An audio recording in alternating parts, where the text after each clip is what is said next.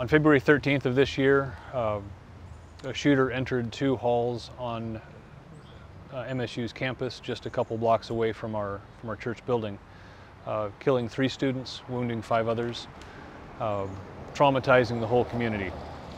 And in the hours after this tragedy, teams uh, put those crosses, put three crosses there for the three, uh, three victims who passed away.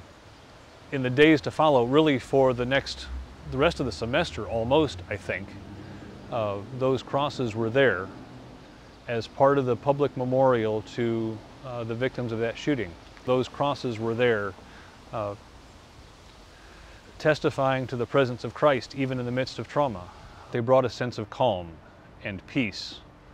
Uh, they brought a place where people could, could simply be happy in a moment that was filled with sadness and grief and overwhelming tragedy.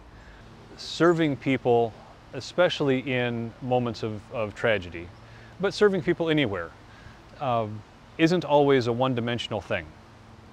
There's a time to stand up in front of a congregation and preach a sermon.